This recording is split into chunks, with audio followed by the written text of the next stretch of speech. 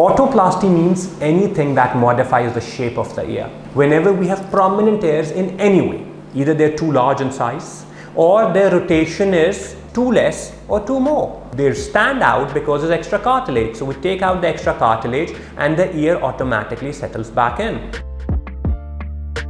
Otoplasty means anything that modifies the shape of the ear. But unlike nose or many other parts of the body, we cannot change the design.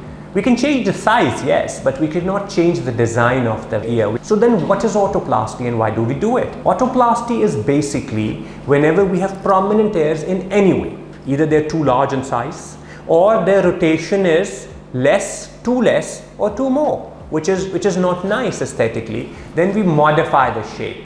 We take out a little bit of extra cartilage. So basically the, they stand out because there's extra cartilage. So we take out the extra cartilage and the ear automatically settles back in. And if they're too large, we can take out very central portion, maintaining the proper alignment and the size of the ear can be decreased. Size of the ear can be increased? No, not, not really. We can make it look a little longer by certain techniques, but we cannot make the ear bigger than it already is.